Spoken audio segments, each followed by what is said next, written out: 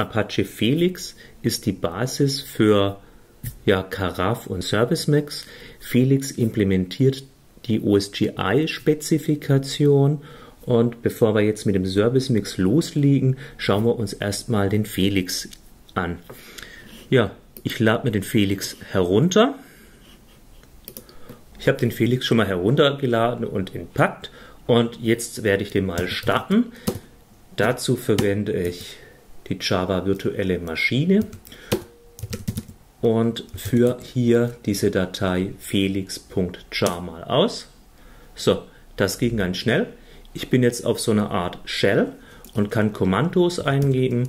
Mit Help lasse ich mir die mal anzeigen und das sind nicht allzu viele, das sind so zwei Dutzend Kommandos und diese Kommandos sind aber schon gruppiert in solche Namespaces Felix, Gogo und OBR.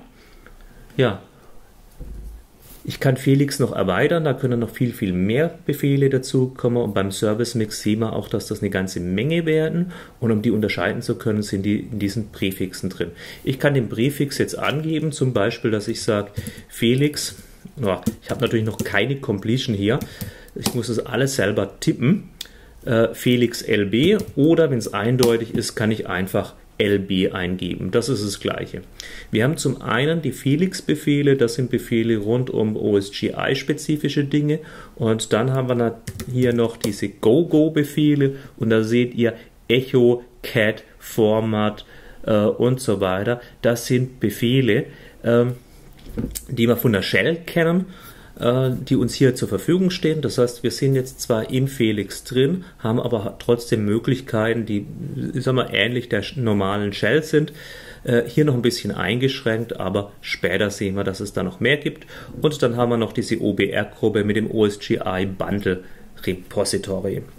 Ja, bei OSGI, da haben wir verschiedene äh, ja, Dinge und Technologien. Zum Beispiel verwenden wir die Bundles, die Services im Service Mix und da werfen wir zunächst mal einen Blick auf die Bundles. Ein Bundle, das ist die grundlegende Komponente oder Einheit beim OSGI. Und das sind jetzt auch gleich schon ein paar am Laufen und installiert. Ich schaue mir die mal an mit LB List Bundles. Da sehe ich, jedes Bundle bekommt hier, äh, wenn es gestartet ist, eine ID. Ich habe momentan erst fünf Bundles am Laufen und da gibt es ein ganz spezielles Bundle hier am Anfang, das System Bundle mit dem Level 0. Und äh, ich kann jetzt diese Bundle stoppen und ich stoppe mal das System Bundle und schon bin ich wieder draußen. Also durch den Stopp des System Bundles wird die ganze, der ganze OSGI-Container heruntergefahren. Schauen wir uns mal an, was denn alles so beim Felix dabei ist.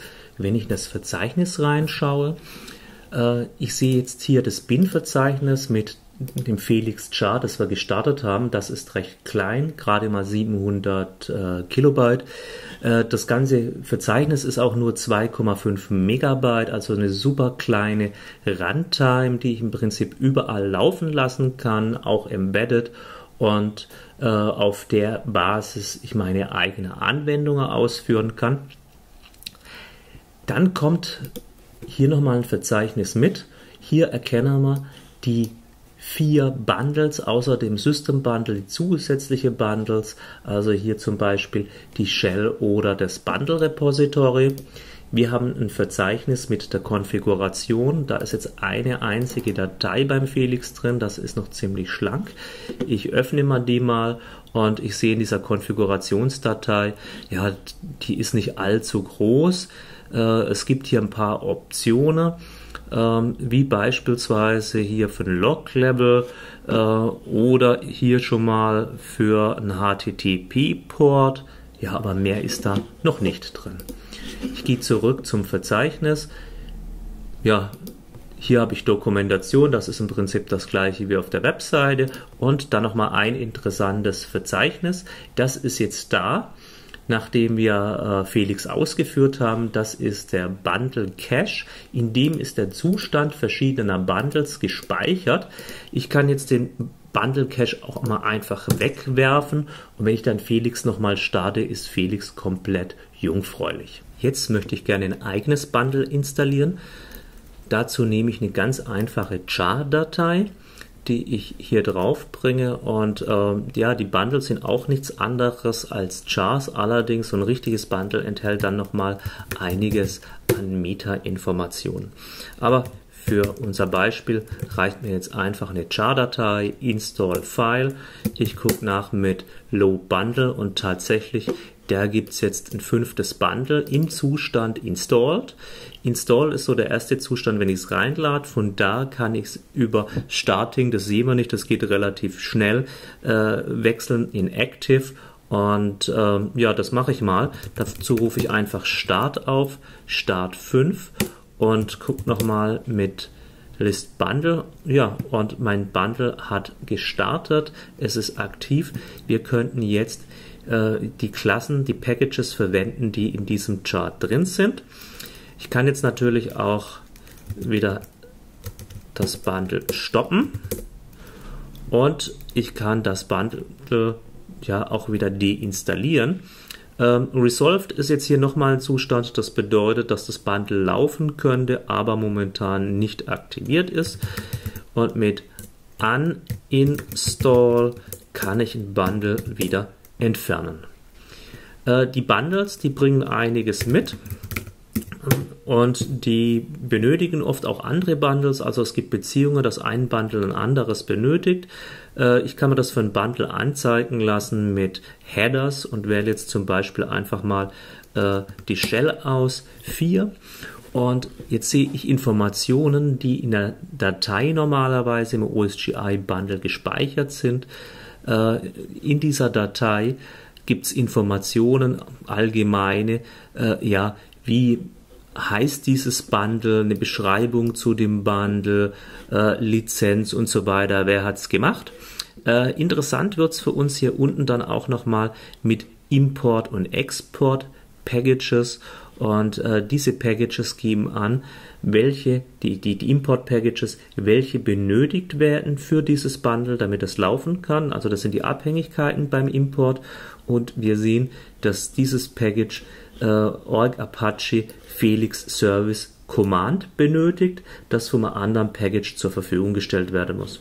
Ja, und wir sehen nicht nur das, sondern wir sehen auch, dass es in einer bestimmten Version zur Verfügung gestellt werden muss. Jetzt haben wir hier nur Imports. Ich möchte aber auch mal einen Export sehen. Dazu lasse ich mir nochmal die Headers ausgeben von vielleicht ähm, ja, die GoGo Runtime. Das könnte vielleicht sein. Haben wir hier einen Export dabei? Nee, dann doch, doch, hier gibt es einen Export. Ich habe es übersehen. Hier kommen die Exports zuerst. Export Package. Das heißt, dieses Bundle stellt diese Packages für andere zur Verfügung. Das heißt, wir brauchen unbedingt dieses Bundle, damit dieses, die Shell lauffähig ist. Dafür brauchen wir die GoGo Runtime. Ja, das, was wir hier gesehen haben mit den Bundles noch, das ist der Bundle Layer aus dem OSGI.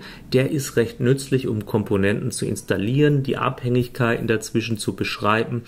Ja, und äh, das ist eine Besonderheit der OSGI-Plattform. Alles, was ihr da macht, ist irgendwo im Bundle drin. Bundle hat Abhängigkeiten, die müssen da sein. Und das ist auch der Punkt, an dem man oft ansetzen muss zur Fehlersuche, wenn halt irgendwo eine Abhängigkeit nicht gefunden wird, eine falsche Version da ist und so weiter. Aber da leistet auch dieser Headers-Befehl ja wertvolle Dienste.